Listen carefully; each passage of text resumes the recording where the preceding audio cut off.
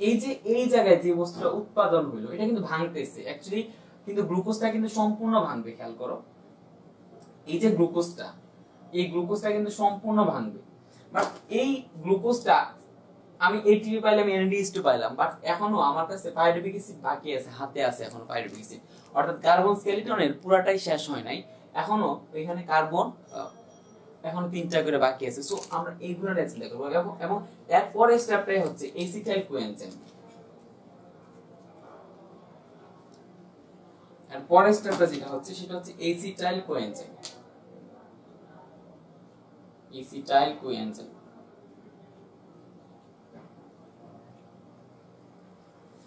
এখন এসিটাইল কোএনজাইমের ক্ষেত্রে যেটা হবে, সেটা হচ্ছে এই আগে গ্লাইকোলাইসিসের ক্ষেত্রে বিক্রিয়ক হিসেবে ইউজ করছিলাম হচ্ছে গ্লুকোজ। এখন আমরা বিক্রিয়ক হিসেবে ইউজ করব গ্লাইকোলাইসিসের উৎপাদ, অর্থাৎ পাইরুবিক অ্যাসিড খেয়াল করো। গ্লাইকোলাইসিস গ্লাইকোলাইসিসের মাধ্যমে যে উৎপাদটা পাইছিলাম, সেটা হচ্ছে পাইরুবিক অ্যাসিড এই পাইরুবিক অ্যাসিডটাকে এখন আমরা বিক্রিয়ক হিসেবে ইউজ করব এসিটাইল কোএনজাইমে এবং এখানে যেটা করবে এই পাইরুবিক অ্যাসিডের এই তিনটা কার্বন যে আছে, এই তিনটা, অর্থাৎ দুই অনু পাইরুবিক অ্যাসিড আছে আমার কাছে। প্রত্যেক অনু পাইরুবিক অ্যাসিড একটা করে কার্বন ডাইঅক্সাইড দিবে। অর্থাৎ আমি দুইটা লিখি, পাইরুবিক অ্যাসিড। একটা হচ্ছে C3H4O3 আমার কাছে দুই অনু পাইরুবিক অ্যাসিড আছে C3H4O3 আর কোনো পাইরুবিক অ্যাসিড আছে C3H4O3 এই জায়গায় যেটা হবে, সেই জায়গা হচ্ছে এই জায়গায়, এই জায়গা থেকে একটা কার্বন ডাইঅক্সাইড অপসারিত হবে। এই জায়গা থেকে একটা কার্বন ডাইঅক্সাইড অপসারিত হবে।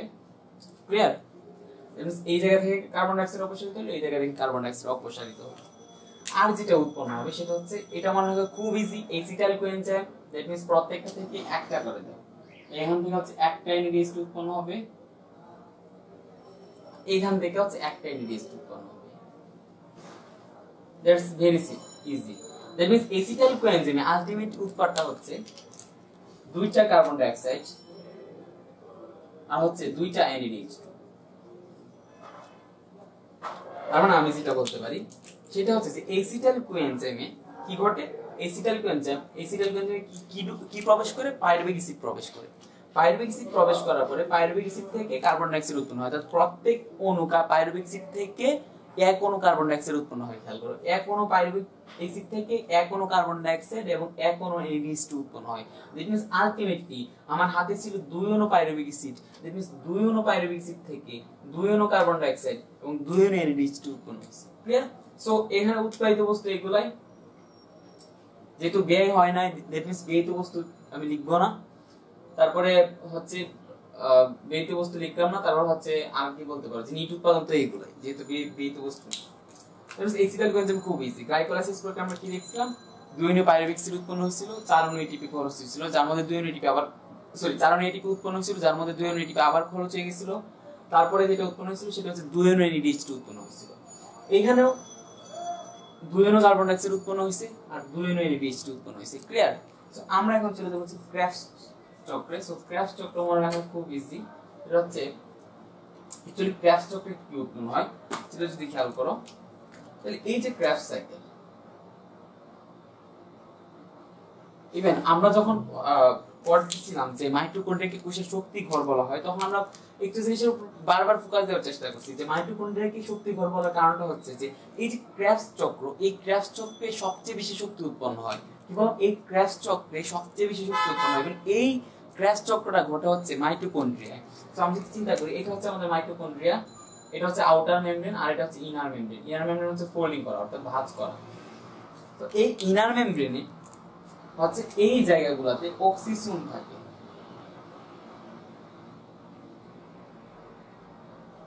এই অক্সিজেনগুলোর কাজ হচ্ছে অক্সিডেশন করা দ্যাট মিন্স জারণ করা, যেটা হোক এখন এই অক্সিজেন থাকে আর এই অক্সিজেনগুলো একটু এনজাইম দেয়। ক্র্যাশ চক্রের এনজাইমগুলো হচ্ছে এই জায়গায় অবস্থান করে। সাপোজ ক্র্যাশ চক্রের এনজাইমগুলো হচ্ছে এই জায়গায় অবস্থান করতেছে। তো এই ক্র্যাশ চক্রটা যেহেতু এই মাইটোকন্ড্রিয়ায় সংগঠিত হয় এবং ক্র্যাশ চক্রে যেহেতু শ্বসন প্রক্রিয়ায় সব থেকে বেশি শক্তি উৎপন্ন হয় এই জন্য আমরা ক্র্যাশ মাইটোকন্ড্রিয়াকে কোষের শক্তি ঘর বলছিলাম বা পাওয়ার হাউস বলছিলাম।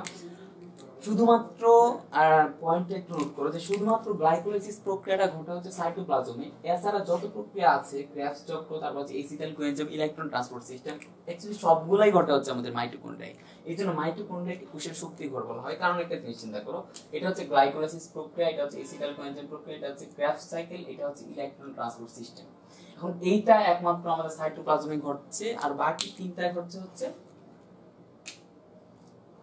মাইটোকন্ড্রিয়ায় এটা যদি একটা কোষ হয়, কোষের এটা হচ্ছে সাইটোপ্লাজম এই সাইটোপ্লাজমের মধ্যে হচ্ছে গ্লাইকোলাইসিস আর সবগুলা এ ই সবগুলাই ঘটছে হচ্ছে মাইটোকন্ড্রিয়ার ভিতরে। দ্যাট মিন্স আমি যদি ধরি যে প্রত্যেকটা প্রক্রিয়ায় এক শক্তি উৎপন্ন হয় ওয়ান ইউনিট শক্তি উৎপন্ন হয় দ্যাট মিন্স এদিকে ওয়ান এদিকে ওয়ান এদিকে ওয়ান দ্যাট মিন্স আলটিমেটলি মাইটোকন্ড্রিয়ায় তিন ইউনিট শক্তি উৎপন্ন হচ্ছে। এই জন্য মাইটোকন্ড্রিয়ায় যেহেতু সর্বাধিক শক্তি উৎপন্ন হয় সেই জন্য মাইটোকন্ড্রিয়াকে আমরা কোষের পাওয়ার হাউস বা শক্তি ঘর বলছিলাম। সো এই ক্যাশ চক্রে কি কি উৎপন্ন হয় বা কি কি উৎপাদিত বস্তু, সেটা মনে রাখার সব থেকে সোজা হয় হচ্ছে। তুমি জাস্ট একটা নিউমেরিক্স মনে রাখতে হবে, সেটা হচ্ছে জিএফ কণা। জিএফ কণা দ্যাট মিন্স গার্লফ্রেন্ড কণা। সো এইটার ক্ষেত্রে যেটা করবা, সেটা হচ্ছে প্রত্যেক দুইটা করে অক্ষর নিবা। দুইটা করে অক্ষর। ওইটাকে গোল চিহ্ন দিবা। তারপরে তুমি যেটা করবা সেটা হচ্ছে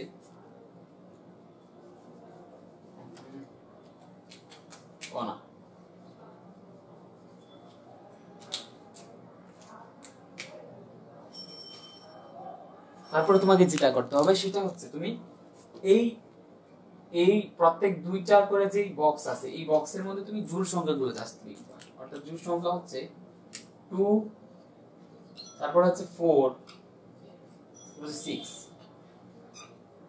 clear two four six জোড় সংখ্যাগুলো জাস্ট লিখতাম এখন যেটা করব, সেটা হচ্ছে এই যে টু ফোর সিক্স এটা থেকে আমরা নিউমেরিক্সটা আনতে পারি। সেটা হচ্ছে এই টু দ্যাট মিনস জিটা হচ্ছে জিটিপি এফটা হচ্ছে এফএডিএস টু কি বললাম? এই যে আমরা পড়ছিলাম যে এফএডি এফএডিএস টু তে রূপান্তরিত হবে ঠিক এরকম। জি জিতে হচ্ছে জিটিপি এফটা হচ্ছে এফএডিএস টু এই জিতে যেহেতু জিটিপি এদিকে দুই আছে দ্যাট মিনস আমি লিখতে পারি দুইটা জিটিপি আর এফতে যেহেতু এফএডিএস টু যেহেতু টু লেখা আছে, আমি লিখতে পারি two FADH two clear okay আর এই চার সিওতে আমি লিখতে পারি চারটা কার্বন ডাইঅক্সাইড আর এই যে এন এতে লিখতে পারি আমি এনএডিএস টু দ্যাট মিন্স ছয়টা এনএডিএস টু ইট মিন্স এই মাধ্যমে আমরা মনে রাখতে পারি অ্যাকচুয়ালি চক্রে কতটা কি উৎপন্ন হচ্ছে, খেয়াল করো। তোমাকে যেটা করতে হবে সেটা হচ্ছে তোমাকে জাস্ট এই লাইনটা মনে রাখতে হবে কণা দ্যাট মিন্স গার্লফ্রেন্ড তারপরে তুমি যেটা করবা সেটা হচ্ছে তুমি প্রত্যেকটা দুইটা করে অক্ষরের উপর বক্স করবা, তারপরে ওগুলোতে জোর সংখ্যাগুলো জাস্ট বসাই দিবা। তারপরে ওগুলোর পুনরূপ লিখে ফেলো। জিতে হচ্ছে জিটিপি এফটা হচ্ছে এফইডিএস টু সিওতে হচ্ছে কার্বন ডাইঅক্সাইড এন এতে হচ্ছে সিক্স টু খেয়াল করো। সো আমরা অ্যাকচুয়ালি যেটা পাবো সেটা হচ্ছে এই যে জিটিপি এটা হচ্ছে দুইটা এফইডিএস টু দুইটা কার্বন ডাইঅক্সাইড হচ্ছে চারটা এনএডিএইচ টু হচ্ছে ছয়টা। সো আমরা যদি লিখি যে ক্র্যাপ চক্রে অ্যাকচুয়ালি কি কি উৎপাদিত হচ্ছে, তো আমরা এভাবে লিখতে পারি যে উৎপাদিত বস্তু ক্র্যাপস চক্রের ক্র্যাপস চক্রে উৎপাদিত বস্তু হচ্ছে এরা উৎপাদিত বস্তু ওকে সো এখন আলটিমেটলি আমরা যদি একটু বিক্রিয়াটার দিকে খেয়াল করি যে সরি এরপরে যেটাতে চলে যাব, সেটা হচ্ছে উৎপাদিত বস্তুর পরে আমরা হচ্ছে চলে যাব ইলেকট্রন ট্রান্সপোর্ট সিস্টেমে সো ইলেকট্রন ট্রান্সপোর্ট সিস্টেমে যেটা হয়, সেটা হচ্ছে এই যে, আমি বলছিলাম যে আমাদের যত শক্তির উৎস আছে বা আমরা যত শক্তি ইউটিলাইজ করতে পারি, সেটা হচ্ছে আমাদের এটিপি এটিপিটা হচ্ছে ঠিক এরকম ফর্ম যে এটিপিটা হচ্ছে একটা রিচার্জেবল ব্যাটারির মতো। ওটা হচ্ছে শক্তি জমা রাখে, আবার সে যখন শক্তি প্রয়োজন পড়ে, শক্তি দিয়ে দেয়। ঠিক ব্যাপারটা হচ্ছে এইরকম, খেয়াল করো। যে একটা এটিপির গঠন যদি আমরা চিন্তা করি, এটিপি মানে হচ্ছে এডিনোসিন ট্রাইফসফেট। অ্যাকচুয়ালি এই এডিনিন এই এডিনিনের সাথে যখন একটা পাঁচ কার্বন বিশিষ্ট সুগার সংযুক্ত হবে, তখন সেটাকে বলব হচ্ছে এডিনোসিন এখন এই এডিনোসিনের সাথে যখন ফসফেট যুক্ত হবে, আমি ফসফেটটাকে পি দ্বারা প্রকাশ করলাম জাস্ট অ্যাকচুয়ালি ফসফেট মানে পিও ফোর থ্রি মাইনাস আমি জাস্ট পি দ্বারা প্রকাশ করলাম। তারপর হচ্ছে পি এখন অ্যাকচুয়ালি যেটা হয়, সেটা হচ্ছে অ্যাকচুয়ালি আমাদের দেহের স্ট্রাকচারটা থাকছে হচ্ছে এডিপি তে বা উদ্ভিদ দেহে ইনিশিয়ালি হচ্ছে এডিপি তে থাকে। ইভেন এই ফসফেট বন্ধনগুলো, আমি বৈশিষ্ট্য বলছিলাম যে এই ফসফেট বন্ধনগুলো হচ্ছে শক্তি বহন করে। তো আলটিমেটলি যেটা হয়, সেটা হচ্ছে যখন আলোক পর্যায় ঘটে, তখন আলোক পর্যায়ে কি করে? এই যে একটা ফসফেট ইনঅর্গানিক ফসফেট এটা কি করে? এরকম। এটা কি করে? যখন আলোক পর্যায়ে রিয়াকশন ঘটে বা কোনো কারণে সে অন্য জায়গা থেকে শক্তি নিয়ে নেয় সাপোজ আমি আলোক পর্যায়ে রিয়াকশনটা দেখাচ্ছি সাপোজ এই জায়গায় হচ্ছে আমাদের সূর্য। তো এই সূর্য থেকে যখন তাপ আসলো তখন সেই শক্তিটা নিয়ে নিল। ক্লিয়ার তো এই যে শক্তিটা নিল, তারপরে সে কি করে? এদিকে ঢুকে পড়ে। যখন ঢুকলো, তখন যেটা হলো, সেটা হচ্ছে এই মলিকিউলসটা এডিপি থেকে ট্রান্সফার হয়ে গেল হচ্ছে এটিপি আচ্ছা খেয়াল করুন। এই মলিকিউলসের ট্রান্সফার হলো হচ্ছে এডিপি থেকে এটিপি তে। এখন, যখন একটা কোষে শক্তির প্রয়োজন সাপোজ এটা হচ্ছে একটা সেল নিউক্লিয়াস বললাম যে এটাই দিই আচ্ছা থাক, এটা নিউক্লিয়াস সাপোজ হইল না এটা হচ্ছে নিউক্লিয়াস এখন, এই যে যখন শক্তির প্রয়োজন পড়ে, তখন কি করে? এই মলিকিউলসটা এই জায়গায় আসে। এই জায়গায় আসার পরে এই মলিকিউলসটা কি করে? এটা হচ্ছে সাপোজ এরকম একটা মলিকিউলস আমি জাস্ট এরকম লিখতেছি। ছোট করে লেখার চেষ্টা করছি, হচ্ছে এরকম। এটা হচ্ছে sorry P P P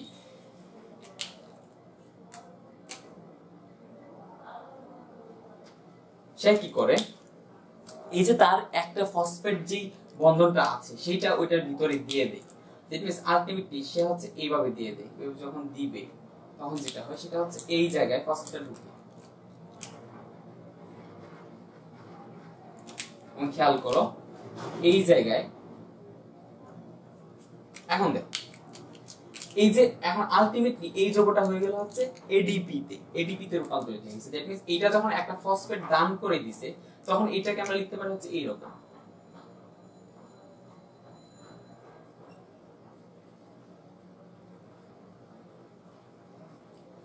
ADP খেয়াল তখন এই যে সেলের ভিতরে যে এই যে ফসফেটটা ঢুকলো, এই ফসফেটটা এই যে বন্ধনে আমরা দেখতে পাচ্ছি শক্তি, তো এই সেলটা কি করে? এই শক্তিটাকে ইউটিলাইজ করে? অর্থাৎ এই চারটি পরে যেটা হয়, সেটা হচ্ছে এই শক্তিটা একটু পরে এখানে চলে যায়।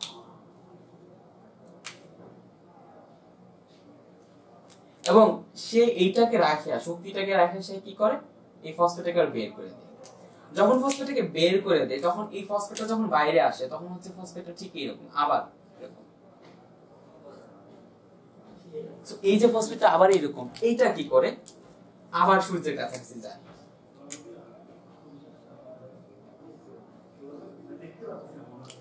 তখন কি করে? সে এই সূর্য থেকে আবার শক্তি নেয়। তারপরে কি করে? আবার এসে এডিপির ভিতরে ঢুকে।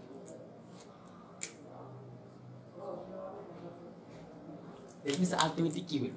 তখন যখন আবার এই কোষের শক্তি প্রয়োজন, তখন এই ফসফেটটা আবার খুলে আবার ঢুকে পড়ে।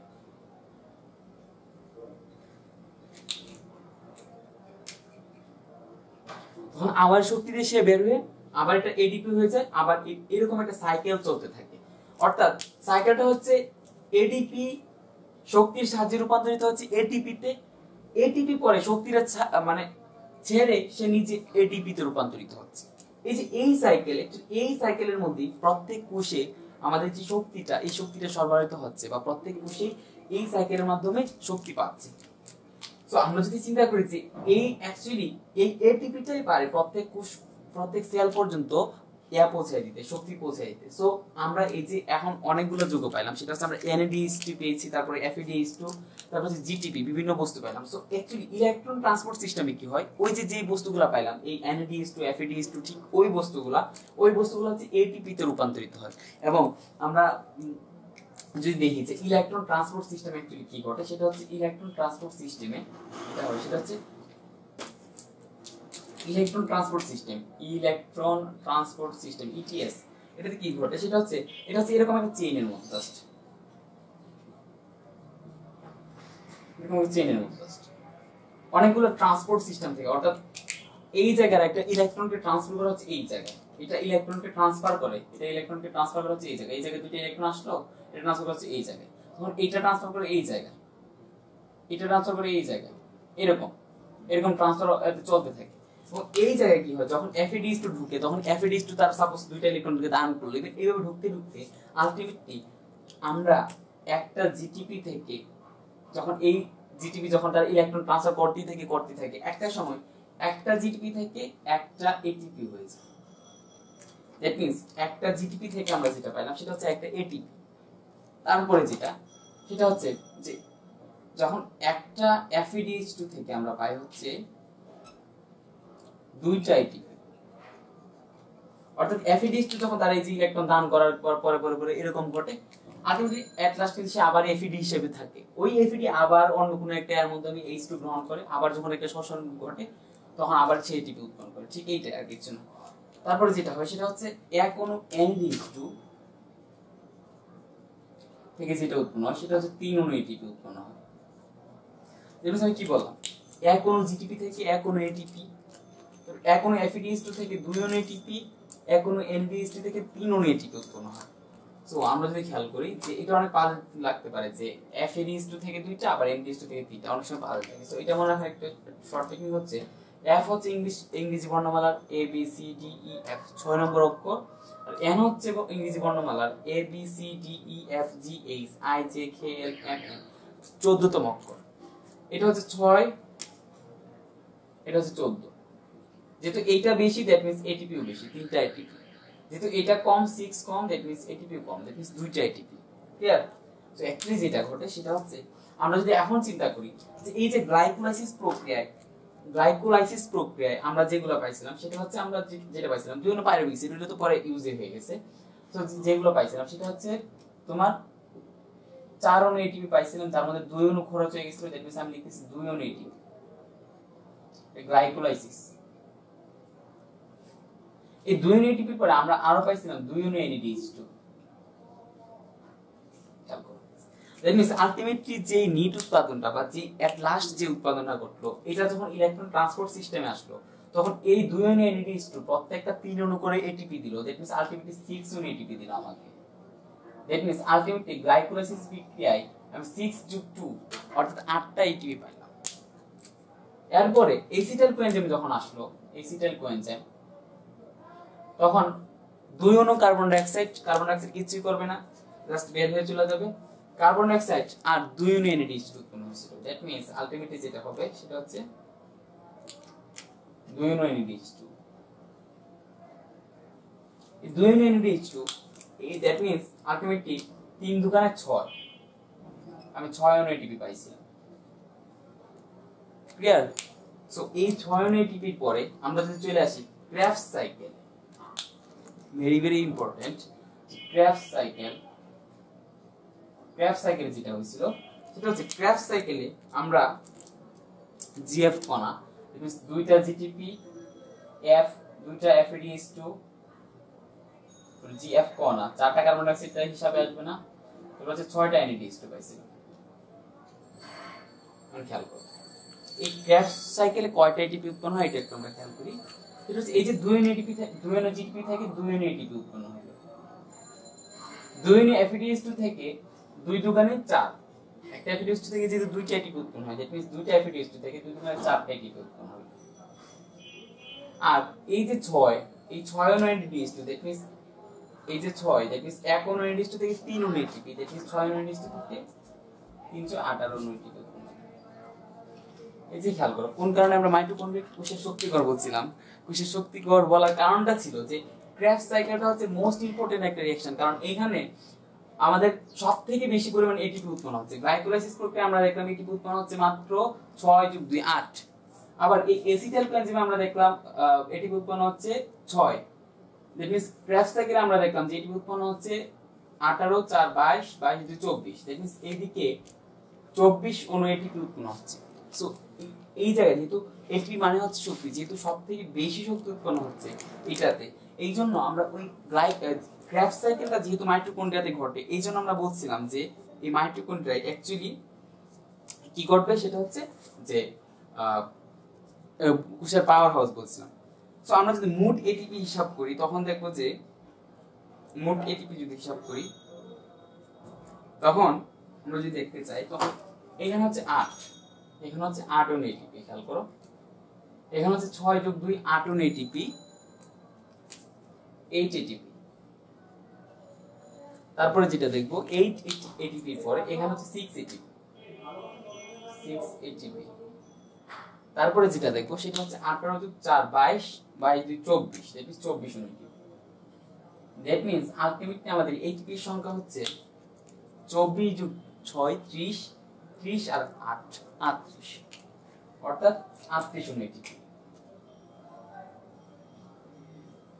আমরা যেটা পাইলাম সেটা হচ্ছে আমরা আরও এসিটাল প্রত্যেকটা পাইরুভিক অ্যাসিড এক অনু করে কার্বন ডাইঅক্সাইড দিয়েছিল। দ্যাট মিন আমরা দুইটা কার্বন ডাইঅক্সাইড আর এই ক্র্যাফ সাইকেলে জিএফ করার মাধ্যমে আমরা চারটা কার্বন ডাইঅক্সাইড হিসাব করছিলাম। দ্যাট মিনস আলটিমেটলি ছয়টা কার্বন ডাইঅক্সাইড এটাই ছিল শ্বসন প্রক্রিয়া উৎপন্ন হয় অনু টিপি এবং চার যোগ দুই কার্বন ডাইঅক্সাইড উৎপন্ন তো এটা হচ্ছে যে রিয়াকশন বা যেই প্রক্রিয়াগুলো বা কি উৎপন্ন হয় এটাই। তো আমরা শোষণ শোষণ আসলেই জাস্ট এটাই যে শোষণ হচ্ছে ওই জায়গায় কি উৎপন্ন হয় চলবে। যে ওই জায়গায় গ্লাইকোলাইসিস ঘটে এবং হচ্ছে গ্লাইকোলাইসিসের পরে যে acetyl coenzyme electron transport system Krebs cycle কোনটাই ঘটে না। ওইদিকে যেটা ঘটে হচ্ছে গ্লাইকোলাইসিসের পরে হচ্ছে পাইরুভিক অসম্পূর্ণ জারণ ঘটে। ওইদিকেও গ্লাইকোলাইসিসটা actually আমি যখন গ্লাইকোলাইসিস লিখছিলাম অ্যাকচুয়ালি এখানে যদি চিন্তা করি। এই যে আমরা যে ওই অক্সিজেনটা লিখছিলাম, যে অ্যাকচুয়ালি গ্লুকোজের সাথে অক্সিজেন যুক্ত হয়, এটা হচ্ছে শ্বসন বিক্রিয়া গ্লুকোজের সাথে অক্সিজেন বিক্রিয়া কার্বন ডাইঅক্সাইড প্লাস পানি উৎপন্ন করে বা এরকম একটা লিখছিলাম। এই যে গ্লুকোজের সাথে যে অক্সিজেন হয়, এই যে অক্সিজেনটা ইউটিলাইজ হয় হচ্ছে এই ইলেকট্রন ট্রান্সপোর্ট সিস্টেম অক্সিজেনটা অর্থাৎ শেষ ধাপে অক্সিজেন এসে কোন- এই ইলেকট্রনগুলোর সাথে অ্যাকচুয়ালি দুইটা হাইড্রোজেন প্লাস থাকে, ওই দুইটা হাইড্রোজেন প্লাস দুইটা ইলেকট্রনকে গ্রহণ করে খেয়াল করো, পানি উৎপন্নের প্রক্রিয়া যদি আমি দেখাই পানির উৎপন্নের প্রক্রিয়া হচ্ছে এই দুইটা হাইড্রোজেন আসলো আর দুইটা এইচ প্লাস আসলো। একচুয়ালি এই দুইটা এইচ প্লাস কার কাছ থেকে আসলো? H FADH two NADH two এইখান থেকে এইচ প্লাস আসলো। যখন এইচ প্লাস আসলো, তখন সে দুইটা ইলেকট্রন গ্রহণ করল। ইট মিনস এইচ প্লাস দুইটা ইলেকট্রন গ্রহণ করার পরে সে আলটিমেটলি হলো হচ্ছে সাপোজ টু এইচ এটাকে আমরা এইচ টু লিখতে পারি। আর এই দিকে ঢুকলো হচ্ছে O two that means H two plus O two আমরা আলটিমেটলি পাই হচ্ছে পানি। এই যে সালোক সংশ্লেষণ বিক্রিয়ায় সরি শ্বসন বিক্রিয়ায় পানি উৎপন্ন হলো আর কার্বন ডাইঅক্সাইড উৎপন্ন তো দেখাইলাম। সো অ্যাকচুয়ালি এই অক্সিজেনটা ব্যবহৃত হচ্ছে মানে ইলেকট্রন ট্রান্সপোর্ট সিস্টেম সো এই কারণে বলা যায় যে গ্লাইকোলাইসিস হচ্ছে সবাত এবং অবাধ শ্বসন, উভয় শ্বসনেরই একটা কমন পর্যায়ে। কারণ হচ্ছে যে গ্লাইকোলাইসিস যখন ঘটে গ্লাইকোলাইসিস তো কোনো অক্সিজেনের প্রয়োজন পড়তেছে না। কারণ আমি যখন গ্লাইকোলাইসিসের বিক্রিয়াটা দেখছিলাম, তখন এটা এরকম ভাবে বুঝাইছিলাম। যে এটা হচ্ছে glucose C six H twelve O six তুমি যেটা করবা, সেটা হচ্ছে এটাকে অর্ধেক করে ভাঙার চেষ্টা করবা। দ্যাট মিনস আলটিমেটলি হচ্ছে সি থ্রি এটা হচ্ছে ও সিক্স ছিল, এটা হবে ও থ্রি এইচ সিক্স হওয়ার কথা এটাকে লিখব four that means H four two তারপরে যেটা বললাম, যে এই জায়গায় যদি সমতা করি, তাহলে এই ছয় ছয়, এদিকে ছয় এদিকে ছয়, এদিকে হচ্ছে টুয়েলভ এদিকে এইট দ্যাট মিনস আরও তোমার চারটা হাইড্রোজেন এই জায়গায় এইভাবে মনে রাখছিলাম এই চারটা হাইড্রোজেন তুমি মনে রাখবা চারটে হচ্ছে চারটে এটিপি আবার এটা বলছিলাম যেহেতু একটা এনএডি থেকে একটা এনএডি উৎপন্ন করতে একটা এনএডি উৎপন্ন করতে দুইটা হাইড্রোজেন লাগে দ্যাট মিন্স আলটিমেটলি এই জায়গায় যেহেতু আমার চারটা হাইড্রোজেন আছে আমি আলটিমেটলি দুইটা এনএডি উৎপন্ন করতে পারব। এবং এইটাও দেখাইছিলাম যে এই চার ইউনিটির মধ্যে দুই ইউনিটি খরচ হয়ে যায় মাইনাস দুই ইউনিটি ক্লিয়ার সো এটা ছিল হচ্ছে সবাদ শোষণের গ্লাইকোলাইসিস খেয়াল করো। আমরা যদি অবাধ শোষণের ডেফিনেশনটা খেয়াল করি অবাধ শোষণের ডেফিনেশনটা হচ্ছে যেই শ্বসন প্রক্রিয়ায় কোনো অক্সিজেনের প্রয়োজন পড়ে না, তাকে বলা হয় হচ্ছে অবাধ শোষণ এই যে অবাধ শোষণ অবাধ শোষণের একটা ধাপ কিন্তু গ্লাইকোলাইসিস হইতে পারে। কারণ এই যে যখন আমি গ্লাইকোলাইসিসটা ঘটাচ্ছি গ্লাইকোলাইসিসে কিন্তু আমি কোনো অক্সিজেন লিখতেছি না, যে এদিকে অক্সিজেন প্লাস বা অক্সিজেন ইউজ হচ্ছে। অক্সিজেনটা অ্যাকচুয়ালি ইউজ হচ্ছে ইলেকট্রন ট্রান্সপোর্ট সিস্টেমে দ্যাট আলটিমেটলি এই আমরা অবাধ শোষণের একটা ধাপ বলতে পারি। কারণ হচ্ছে গ্লাইকোলাইসিসের মধ্যে কোনো অক্সিজেনের প্রয়োজন পড়তেছে। না গ্লাইকোলাইসিস হচ্ছে এমন একটা যেটা অক্সিজেন থাকলেও ঘটতে পারে বা না থাকলেও ঘটতে পারে। এই জন্য আমরা এবং অবাধ উভয় শোষণেরই একটা পর্যায়ে তারপর হচ্ছে আমরা যদি অবাধ শোষণের ইয়া দেখি, তারপর হচ্ছে অবাধ শোষণের, তারপর হচ্ছে এই যে অবাধ শোষণ যে পাইরুভিক অ্যাসিডটা উৎপন্ন হলো, এই পাইরুভিক অ্যাসিডটা আর এসিটাল কোএনজাইম হবে না। বা কোএনজাইমের মাধ্যমে ট্রান্সফার সিস্টেমে যাবে না, সে হচ্ছে অসম্পূর্ণভাবে জারণ হবে এবং ইথাইল অ্যালকোহল বা এই জাতীয় পদার্থ উৎপন্ন করবে। জাস্ট মনে রাখো ইথাইল অ্যালকোহল বা এই জাতীয় পদার্থ উৎপন্ন করবে। অ্যাকচুয়ালি অবাধ সম্পর্কে এইটাই ছিল। সো অবাধ সম্পর্কে যদি আরও কিছু বলতে চাই অ্যাকচুয়ালি ওটা কেমিস্ট্রিতে আলোচনা করা বেটার অ্যাকচুয়ালি শোষণ সম্পর্কে এইটাই ছিল আমাদের সবাদ শোষণ, অবাধ শোষণ। Thank you